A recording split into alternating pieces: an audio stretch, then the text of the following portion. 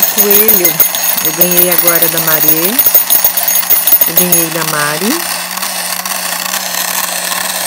Esse coelho da Viracel, de 1994, uma edição especial. Ele chegou no meu acervo agora, naqueles lotes doados.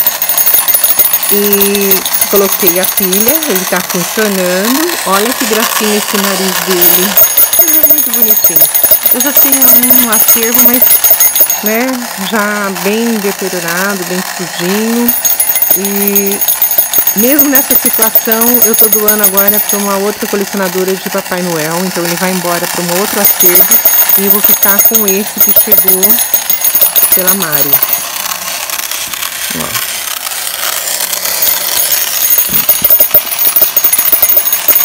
Olha a caixa dele.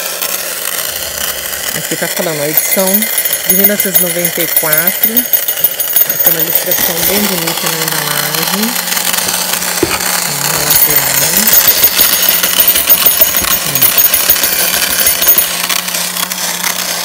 Aqui. Os itens vão chegando, vão sendo procurados, né? Aqui também eu tenho outro menor que ele, tipo, ele bate, né, o tambor. Mas esse eu coloquei para funcionar e ele não, não, não tocou. Aí vocês podem ver, eu vou colocar umas imagens, os itens também, os menores, mas eu vou colocar em foto, tá?